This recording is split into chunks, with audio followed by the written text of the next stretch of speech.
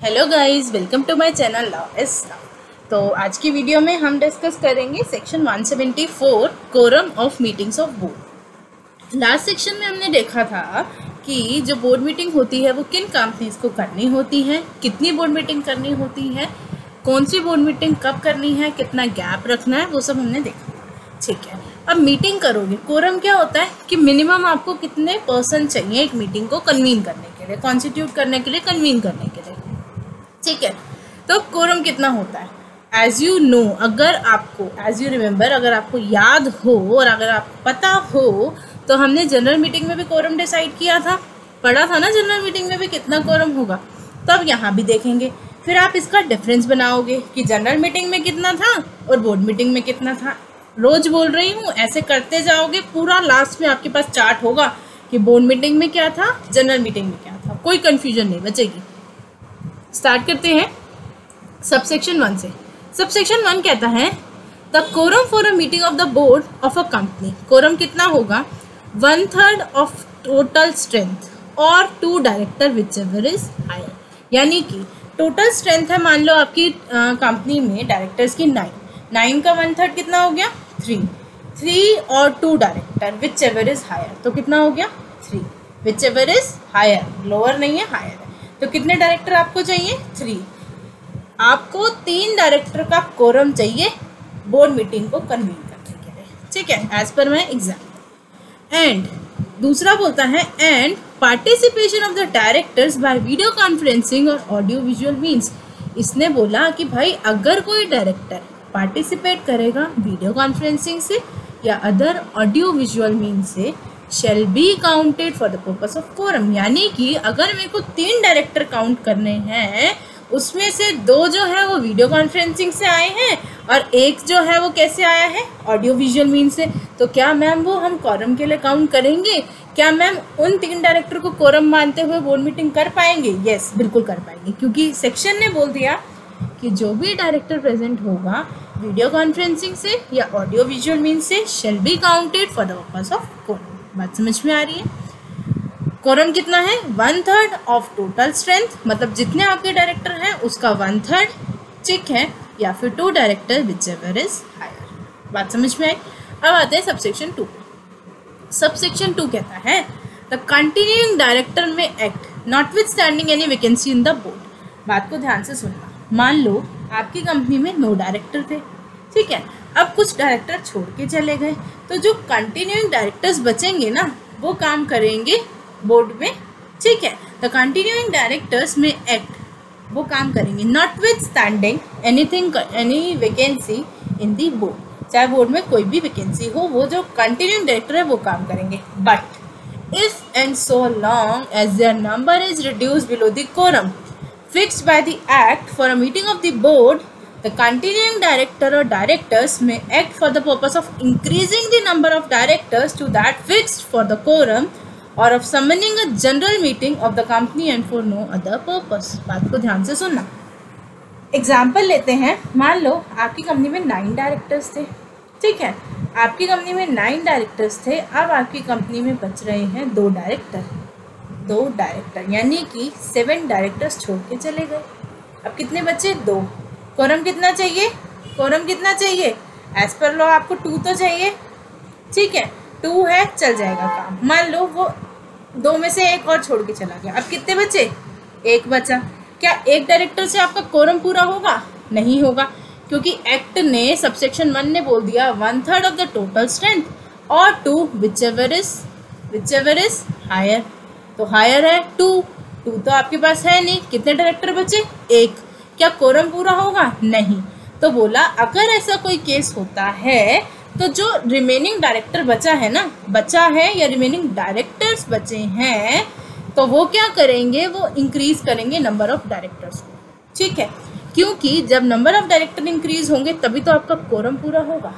तो जो continuing director होंगे या डायरेक्टर्स होंगे may act for the purpose of increasing the number of director यानी कि वो काम करेंगे डायरेक्टर्स को इंक्रीज करने के लिए, ताकि डायरेक्टर्स पूरे हों बोर्ड में, फिर उसके बाद आपका कोरम बने। बात समझ में आई है?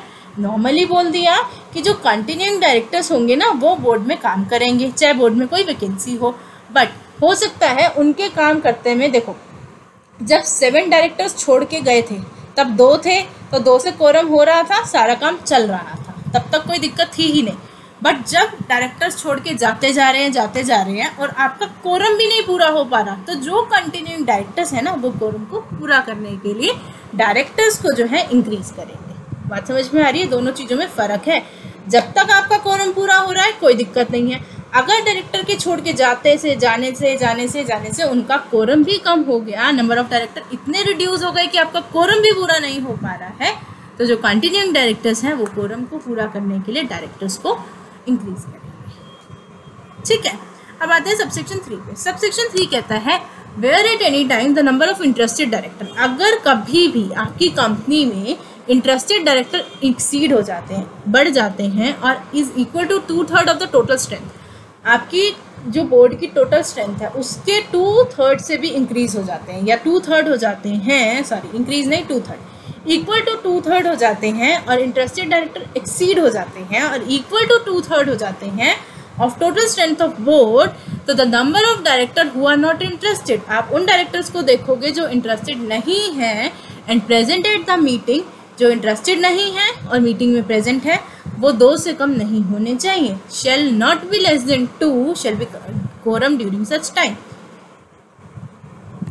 बोला कि अगर कभी भी आपकी कंपनी में the number of interested director exceed हो जाते हैं और इक्वल टू हो जाते हैं टू थर्ड से two third of the total strength से इक्वल टू और एक्सीड होते हैं तो वो डायरेक्टर जो इंटरेस्टेड नहीं है और मीटिंग में प्रेजेंट है, वो कम से कम दो होने चाहिए shall be the quorum during time अगर वो है दो तो हम उन्हीं दो को कोरम मानेंगे। एक मीटिंग हो रही है मीटिंग में आपके दस डायरेक्टर हैं, दस में से आठ जो है वो इंटरेस्टेड हैं और दो जो है, वो नॉट इंटरेस्टेड हैं। तो क्या कोरम होगा पूरा? बिल्कुल पूरा होगा।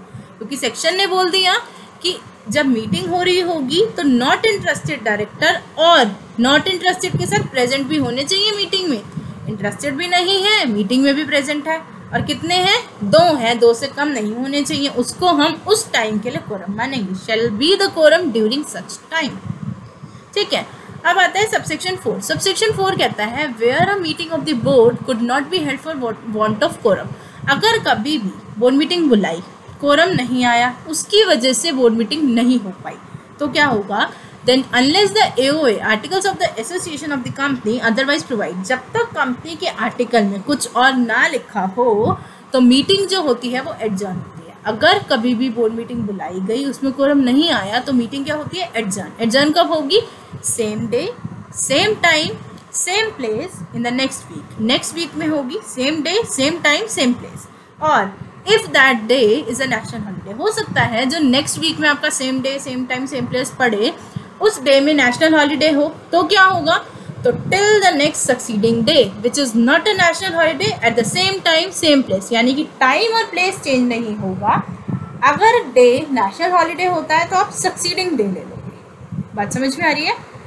कभी भी बोर्ड मीटिंग में कोरम नहीं आया तो मीटिंग जो होती है वो स्टैंड एडजर्न होती है, जब तक आपके आर्टिकल्स में कुछ और ना लिखा ठीक है मीटिंग हुई एडजर्न अब एडजर्न मीटिंग को दोबारा कन्वीन कब करेंगे? Same day same time same place next week अगर वो डे नेशनल हॉलीडे है तो सक्सीडिंग डे बात समझ में आई आपको? शुरू से एक बार रिवाइज करते हैं। कोरम वन थर्ड और two whichever is higher participation video conferencing audio visual means count होगा कोरम के लिए। अगर कंटिन्यूइंग डायरेक्टर्स हैं और वैकेंसी होने की वजह से कोरम कम नहीं हुआ तो वो काम करेंगे। कोरम कम हो जाता है तो वो इंक्रीज करेंगे नंबर ऑफ़ डायरेक्टर्स को। ठीक है? Interested director where at any time number of interested director exceed हो जाते हैं और टू थर्ड के बराबर हो जाते हैं तो जो इंटरेस्टेड नहीं है और मीटिंग में प्रेजेंट है, वो दो से कम नहीं होने चाहिए। उसी को हम उस टाइम के लिए कोरम मान लेंगे। अगर मीटिंग एडजर्न होती है कोरम की वजह से तो अगले वीक होगी same day same time same place अगर वो सेम डे जो है वो नेशनल हॉलीडे है तो नेक्स्ट डे होगी. बात समझ में आई? पूरा सेक्शन 174 आपको समझ में आया? तो प्लीज़ एक एक सेक्शन करते जाओ, अपने नोट्स रेडी करते जाओ टैबुलर फॉर्म में जनरल मीटिंग बोर्ड मीटिंग का पूरा चार्ट बनाते जाओ. लास्ट में कसम से बोल रही हूँ, आपको बहुत हेल्प होगी. आप लोग करते जाओगे जैसे जैसे बोल रही हूँ, बहुत हेल्प होगी. तो मिलेंगे नेक्स्ट टॉपिक के साथ नेक्स्ट वीडियो में। तब तक के लिए बाय बाय थैंक यू